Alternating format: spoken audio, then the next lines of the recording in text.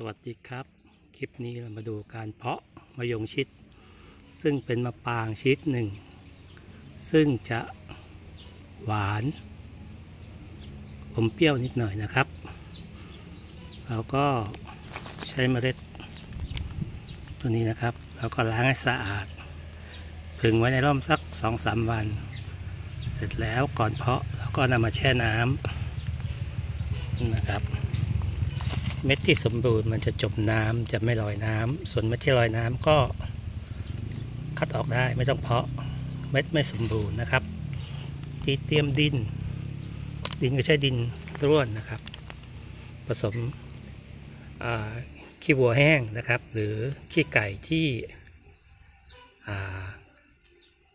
ทิ้งไว้สักปีหนึ่งมันจะได้ไม่เค็มมากนะครับวิธีการก็คือ หลังจากแช่น้ำสัก สิบชั่วโมงถึงถึงสิบสองชั่วโมง แล้วก็เอามาใส่ในที่จะพักนะครับ การวางเม็ดก็มีสองแบบคือแบบนอนอย่างนี้ครับ กับ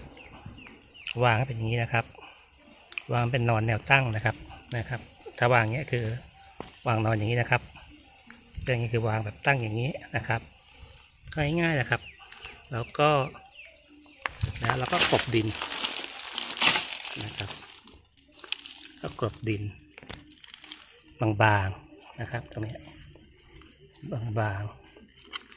บางๆบางๆนะครับ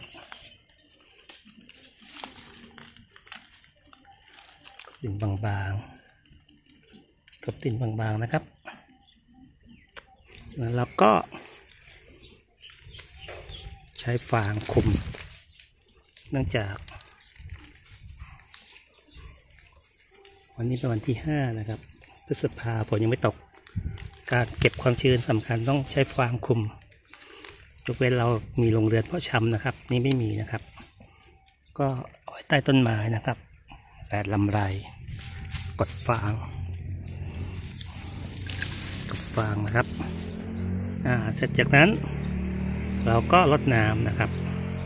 ก็ง่ายๆนะครับสำหรับการเพาะเมล็ดมะยงชิดนะครับ ถ้าเรา เอาต้นเนี่ยไปได้ไปปลูกก็ได้นะครับ หรือเอาไปเป็นต้นพันธุ์ทับกิ่งต้นที่สมบูรณ์ต้นพันธุ์ที่ดีนะครับ ง่ายๆนะครับการเพาะมะยงชิดง่ายนิดเดียวนะครับจบคลิปเพียงแค่นี้สำหรับการเพาะมะยงชิดหรือมะปางหวานแบบง่าย